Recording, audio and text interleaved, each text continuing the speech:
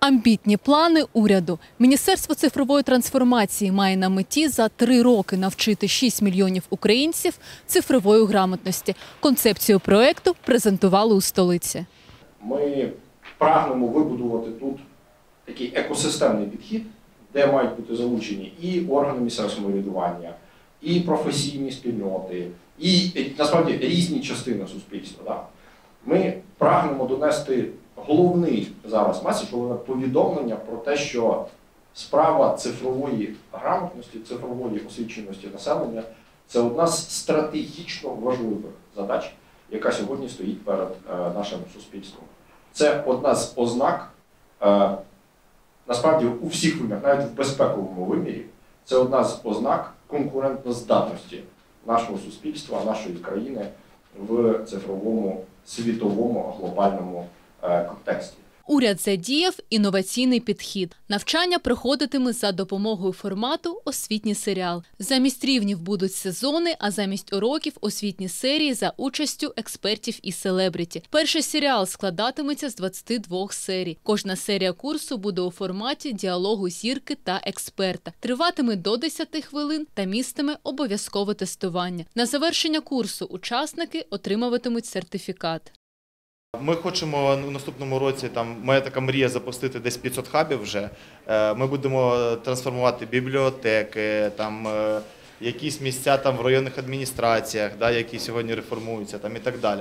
Е, Ми хочемо запустити по принципу соціальної франшизи. Це буде новий формат в Україні. Такого навіть немає в світі, коли ми створюємо певну франшизу і безкоштовно, як соціальне підприємництво, даємо підприємцям, щоб вони відкривали по нашим стандартам такі хаби в своїх містах. Тому що ми бачимо, багато є енергії у людей, вони хочуть якось допомогти, і потрібно цю енергію конвертувати в класні соціальні проекти.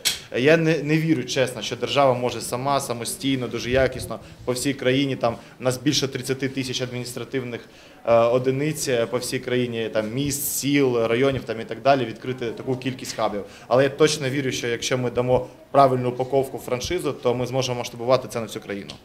На онлайн-платформі українці зможуть безкоштовно пройти три онлайн-курси: базовий курс із цифрової грамотності, цифрова грамотність для вчителів і курс для батьків. Згодом з'являться просунуті курси для різних спеціалізацій. Навчання буде проходити в форматі онлайн. Е, І паралельно е, в нас буде е, технічна підтримка та офлайн підтримка. Е, Якщо ми говоримо про технічну підтримку, то це буде кол-центр, який буде пояснювати просто людям, як зареєструватися правильно чи що робити, коли, наприклад, не завантажується сторінка, хоча ми плануємо, що цього там не, не буде.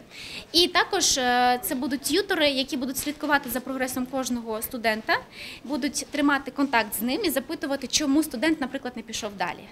Е, І нам для нас це важливо розуміти, щоб в подальшому всіх курсах ем, допрацьовувати свої навчальні програми.